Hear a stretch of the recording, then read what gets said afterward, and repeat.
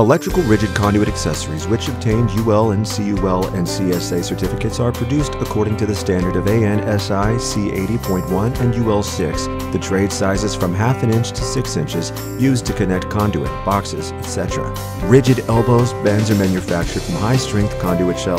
The normal degrees including 90 degrees, 60 degrees, 45 degrees, 30 degrees, 22.5 degrees, and 15 degrees. Rigid nipples are manufactured from high-strength conduit shell, the normal lengths within 12 inches or according to customer's special demand. Rigid couplings are manufactured from high-strength seamless steel pipes. Both interior and exterior surface with zinc coating provides more reliable corrosion protection.